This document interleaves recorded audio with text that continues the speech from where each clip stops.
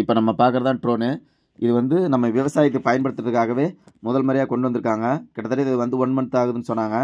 இது பார்த்தீங்கன்னா வந்து இதில் தேவையான ஒரு ஒரு பன்னெண்டு லிட்டர் கொள்ளளவு உள்ள ஒரு டேங்க் வந்து அந்த ட்ரோனில் ஃபிட் பண்ணியிருக்காங்க இது ரிமோட் கண்ட்ரோல் மூலமாக இயங்குது. அந்த டேங்கில் வந்து தேவையான அளவு தண்ணி மருந்தெல்லாம் ஊற்றி ஊற்றியாச்சு இப்போ வந்து இந்த ட்ரோன் ரெடியாக இருக்குது ஒரு டைமுக்கு பார்த்தீங்கன்னா பன்னெண்டு லிட்டர் அளவுக்கு சுமந்துட்டு போயிட்டு கா காட்டில் வந்து மருந்து அடிச்சிட்டு வர அளவுக்கு ரெடி பண்ணிட்டாங்க.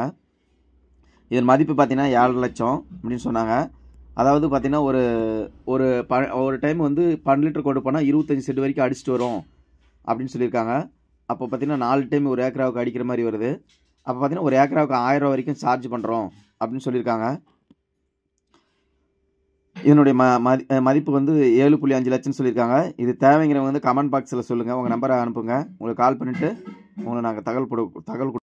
இந்த ட்ரோன் எங்கே இருக்குன்னா பூலாம்படி டு எடப்பாடி ரோட்டில் பில்லுக்குறிச்சின்ற ஊரில் மருந்து கடையில் வச்சுருக்காங்க. நீங்கள் போயிட்டு அவங்கள தொடர்பு கொண்டீங்கன்னா உங்கள் நம்ம உங்கள் காடுகளுக்கு வந்து அவங்க மருந்து அடித்து கொடுப்பாங்க. இந்த வீடியோவுக்கு சப் சப்